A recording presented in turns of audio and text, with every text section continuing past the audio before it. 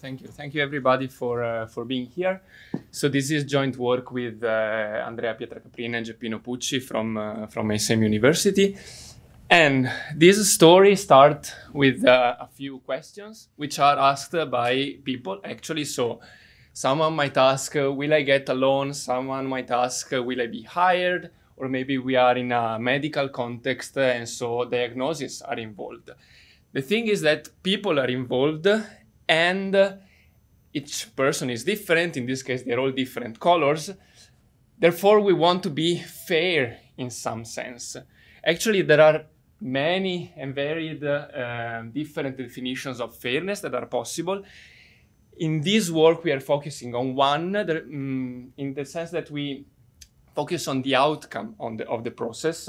So there is this notion of disparate impact uh, that basically states that people in different protected classes, think uh, men and women uh, or people with blue hair and red hair, uh, should not experience very different outcome from uh, a machine learning process in this case.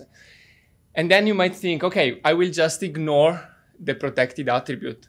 Unfortunately, that, that is no solution because uh, there are papers showing that ignoring the protected attributes does not help. Actually, it might be harmful. So we have to take into account uh, the protected attributes uh, of uh, the people we work with.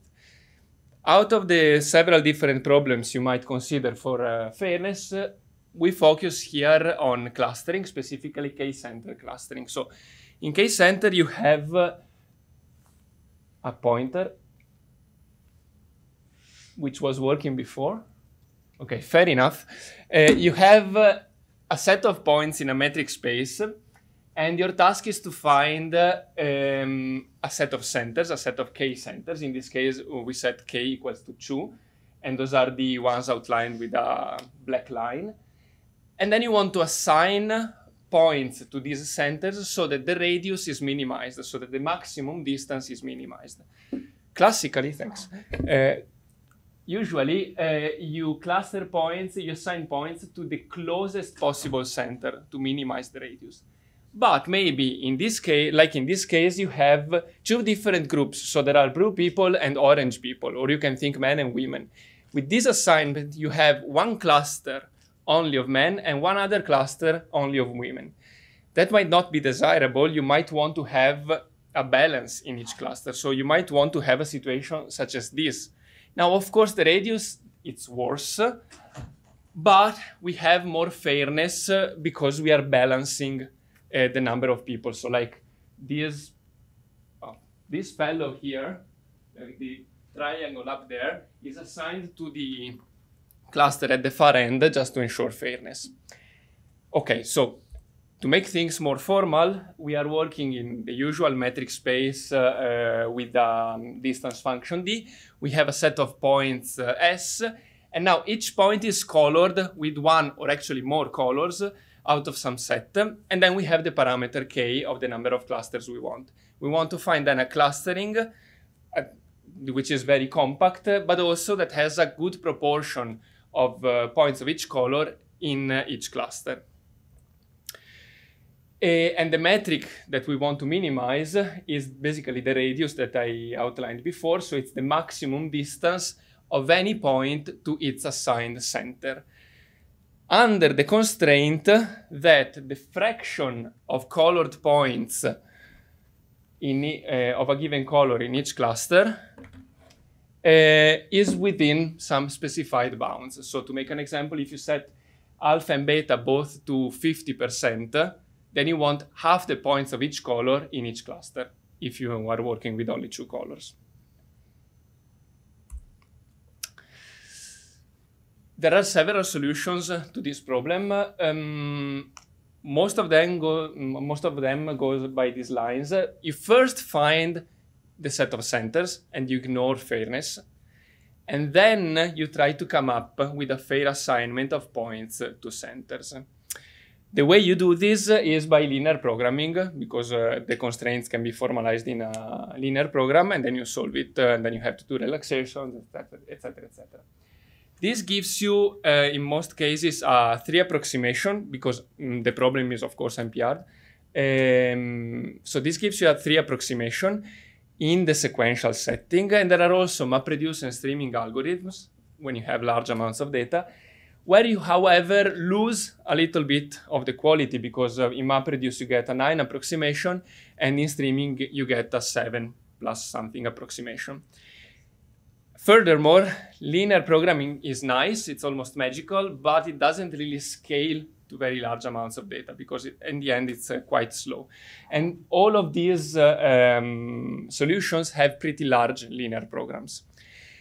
So what we propose is uh, an algorithm which achieves a 3 plus epsilon approximation, so almost as good as the best uh, in the literature, that works in all three settings, so both in the sequential setting and in the streaming and MapReduce setting. Now, I'm sparing you all the details uh, and the dependencies of the complexities, but the idea is that in the sequential setting, you are then linear in the input size for the time. In streaming, you, you can do only two passes on the data, and uh, um, the memory you use depends on the aspect ratio of the dataset itself. And in MapReduce, you have a memory that basically scales nicely with the number of processors that you have. And the main idea of uh, our approach is to use uh, so-called core sets. And a core set is basically a small subset of the input equipped with a proxy function that basically assigns each point of the input to a representative and a weight function. So the core set points are weighted with the idea that each point of the input has a very close representative. So the core set is a good representation of the entire input. Then you solve the problem on the core set rather than on the original data set. Since the core set is much smaller than the input, then you can afford to use linear programming because you're working on a small subset. And so using less data, you are going much faster. So just to illustrate a little bit the, the idea, on the left-hand side, you have uh, the input set of points, again with uh, two different colors. The first step is to locate uh, a set uh, of proxy points. Let's see if I can do it now. No, my hand is not magic enough. Um, but let's assume that you start from an arbitrary point, like the topmost square. Then the, um, there is a greedy algorithm, a very classic greedy algorithm that basically requires you to pick an arbitrary point, then the farthest away, and then the farthest away from the selected ones, and so on and so forth, until you get either the desired number of clusters or a radius small enough. This is what we are doing. So we go on until we get clusters um, that are compact enough. And in this case, the clusters will all uh, the ones will be all the ones outlined by the black line. At this point, the center of each cluster will become the representative of all the points in the cluster. And we will assign a weight to each point proportional, which records basically the number of points of each color that the core set point is representing. So now on the right-hand side, we have uh, basically just the core set points with the information about how many uh, original input points they are representing, stratified by color. Now that we computed this information, we throw it away and we just consider the location of points, ignoring uh, the weights for now. And we solve the k-center problem. So we look for k clusters, in this case two, just to locate the position of, of the centers in the core set. And now in this case, it will be the two larger uh, circles. Now that we find, found the position of the centers, we bring back the information uh, of the weights, and we try to distribute the weights of the core set between the two centers in this case, so that fairness is ensured. This is where the linear program uh, runs. Once we have distributed the weight uh, among core set points, then we go back to the original input and we assign the original input points to the uh, cluster centers, obtaining the final solution. So after all of this, the question is, is, of course, is this any good uh, also in practice other than in theory? And the answer is yes, otherwise I wouldn't be here. Uh, and um, so these are a few of our experimental results in the sequential setting.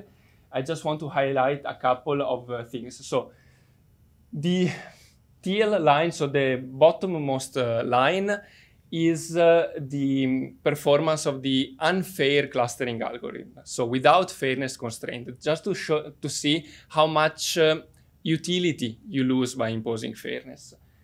Uh, the other lines are uh, two baselines, like the red and the orange one, whereas the blue line is our own algorithm under two different core set sizes because there is a trade-off. The larger the core set, the more accurate the representation and vice versa, of course.